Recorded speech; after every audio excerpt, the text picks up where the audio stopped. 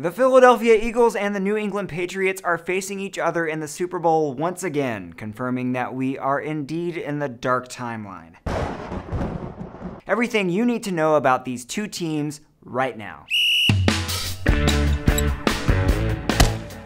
Hey everyone, I'm Cory Draper. It's been a while since I've been able to do a video in the studio, but the Super Bowl is here and I just had to come back once more to give you a TLDR rundown of both teams. Whether you're into football or not, the big game has become an unofficial holiday in America, so chances are you're attending a Super Bowl party this week, and chances are you know very little about who's playing. That's what this video is for. I'll give you a quick rundown of both teams, how they got here, the star players, a little bit of history, and all the things that may be talked about during the game so you can actually be involved in the conversation this time. No more just cheering when everyone else does and only knowing the players who are married to supermodels.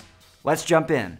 Like I said before, the Eagles and the Patriots are the teams facing each other for the championship this time around. The Eagles have never won a Super Bowl and have only been to the game twice before. The Patriots, on the other hand, have won five Super Bowls and have appeared in 10 of them. That's around 20% of all Super Bowls. What's even crazier is that eight of those appearances have come in the last 17 years, and the quarterback, Tom Brady, and the head coach, Bill Belichick, are the ones who have made it all happen. How, you hypothetically ask? Before these two came along, the Patriots were nothing. They had no championships, and they were a pretty mediocre franchise. That all changed when Belichick became the head coach in the year 2000. In his very first NFL draft, he decided to take some ho-hum quarterback out of Michigan named Tom Brady in the sixth round. Nobody thought much about the decision then, as the Pats starting quarterback Drew Bledsoe was a pretty good player and had led New England to a few playoff games, including an appearance in the Super Bowl. But in 2001, Bledsoe got hurt hurt in the second game of the season, and lo and behold, that dumpy looking sixth rounder came in and led the Pats to their very first Super Bowl victory, and then four more after that. Here we are in 2018, and it turns out that Brady and Belichick are the greatest QB and head coach of all time, and they're looking for their sixth Super Bowl ring together. It leaves everyone asking the question when will it end? Please God, make it stop. The Eagles will be the next man up trying to take down the dynasty. Their history isn't as prestigious. The last time they were in the Super Bowl was in 2005 when they lost to the friggin' Patriots. Really, the most famous stories about the Eagles involve their ravenous fans, such as the time they cheered when Cowboys receiver Michael Irvin had a career ending injury, or the time they booed Santa Claus, or when they beat up the Redskins mascot, or when they punched a police horse, or like last week when they decided chasing a moving train was a good idea.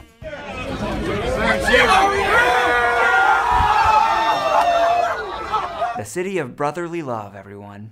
Anyway, let's take a look at the 2017 version of both of these teams and how they got here. Both the Eagles and the Patriots were 13 and 3 in the regular season and the top seed in their conferences. The Eagles represent the NFC and the Patriots represent the AFC. The Patriots got here by doing what they do and won a bunch of games. It didn't matter that they lost their top receiver to an injury before the season even started. It didn't matter that they lost their first game. It didn't even matter that they would have lost to the Tampa Bay Buccaneers if the Bucs had a decent kicker. Nope, they took advantage of being in a weak division and strolled through the regular season twirling a cane. Aside from Tom Brady and Bill Belichick, here are some names you'll likely hear a lot during the big game. Tight end Rob Gronkowski. Yes, he's as doofy as he looks, and yes, he's as talented and as big as he is doofy. Gronk is Brady's favorite weapon, especially in the red zone. He's been in the concussion protocol, but if he plays, he will be a big factor. Even if they lose, his presence will be felt on the dance floor in the after party.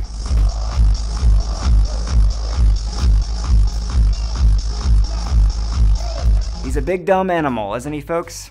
Moving on, we have all the running backs. Why all the running backs? Because we never know which one will actually make an impact. They seem to alternate, so I'll just name them all. Dion Lewis, Rex Burkhead, James White, Mike Gillislee, and we'll even throw in Brandon Bolden in there.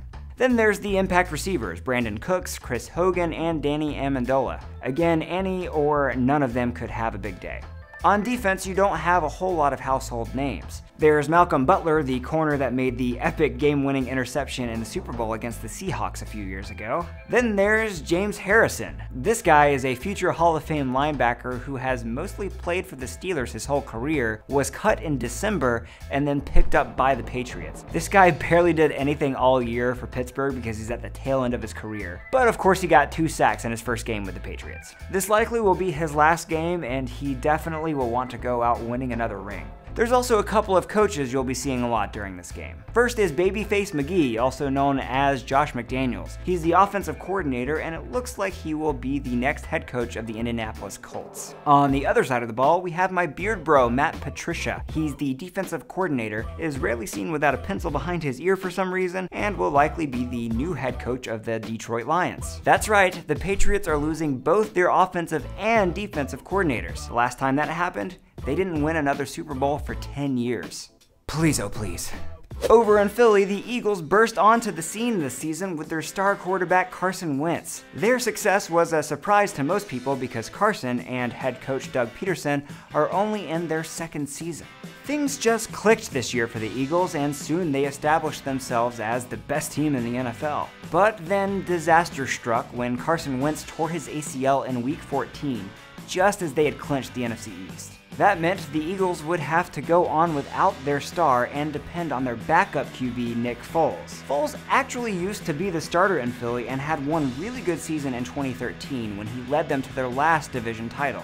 He never really could recapture the magic though and bounced around to a couple of teams before returning to Philly as the backup this season. That clearly hasn't affected the Eagles though, and Foles has actually looked pretty darn good so far. On top of that, the Eagles have had one of the best, if not the best, defense in the league this year. So don't think Philly's just gonna lay down and boo people.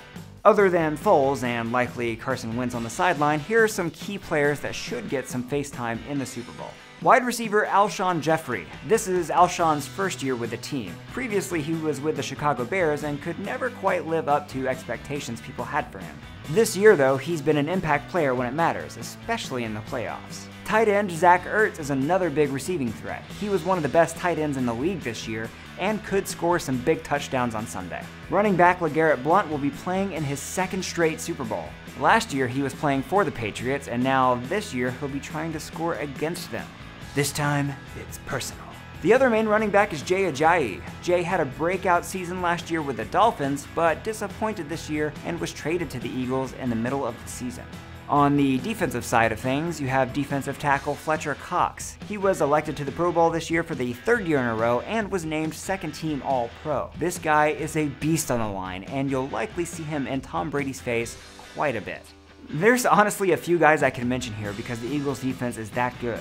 Guys like linebacker Nigel Bradham, cornerback Jalen Mills, and safety Malcolm Jenkins, who is another Pro Bowler, and some people call him the heart and soul of this defense. You'll likely see a healthy dose of all these guys making some key plays if Philly plays as well as they have been. Now, here are some storylines that will likely be talked about by your friends at your Super Bowl party. First, they'll probably call the Patriots cheaters a lot. This comes from a long-standing view that was sparked by something called Spygate back in 2007. Long story short, it came out that Patriots employees had been secretly videotaping the New York Jets coaches from their own sideline in an attempt to steal signals. On top of that, there was the Deflategate controversy a couple of years ago. Yeah, I know, lots of gates. Basically, Tom Brady was accused of getting his footballs deflated on purpose so he could have better grip, which is somehow cheating?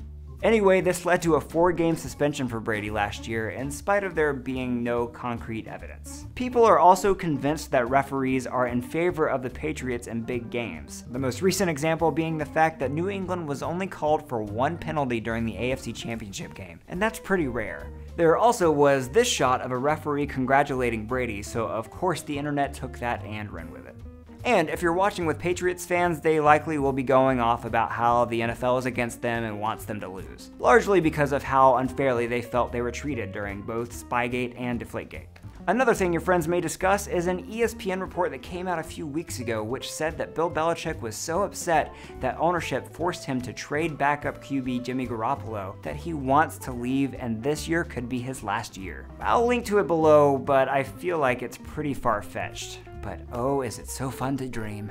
As for the Eagles, people likely will be talking about the last time they were in the Super Bowl. They may talk about how the quarterback, Donovan McNabb, was throwing up in the huddle during the game, or how Andy Reid, their former coach, still can't figure out how to win in the postseason. He's the head coach of the Chiefs now, by the way, who were upset at home by the Tennessee Titans in the playoffs. And finally, in case you didn't already know, Justin Timberlake will be performing the halftime show this year. Why is that a big deal? Because the last time he did this, the infamous wardrobe malfunction happened, and we were then punished over the next few years with geriatric musical acts who were way past their prime. Let's keep that suit and tie on this year, JT.